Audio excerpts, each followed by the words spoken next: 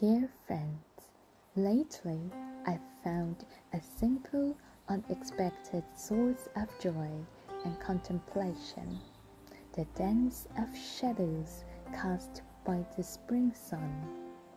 It's fascinating how ordinary surroundings can transform into captivating silhouettes with the different angle of light. This gentle observation has turned into a ritual that not only comes but also intrigues me. Every day, as the sun moves across the sky, it reshapes what I see around me, casting elongated, twisting shadows that change form with the time of day.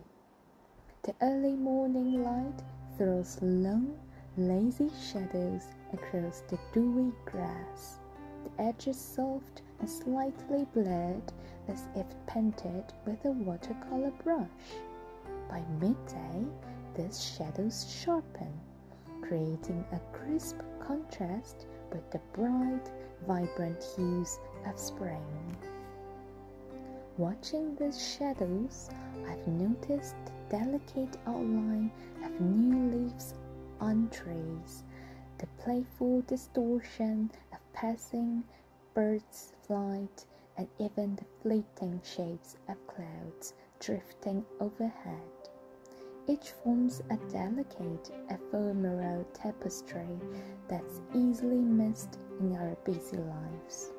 It's like watching a slow, natural ballet where each element is choreographed by the wind and the light.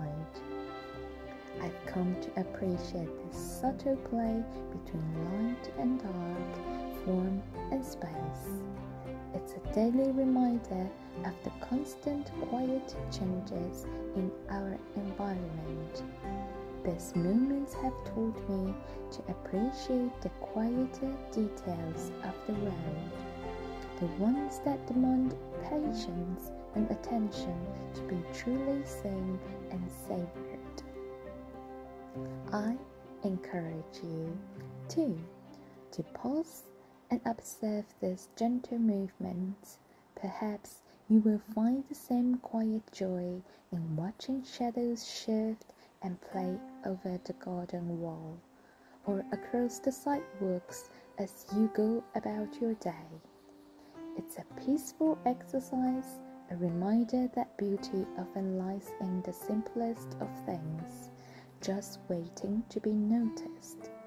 So, next time the sun casts its light across your path, take a moment to see where the shadows lead. Let them dance for you, and maybe in their silent ballet you will find a moment of peace and a new way to see the world. Thank you for your listening.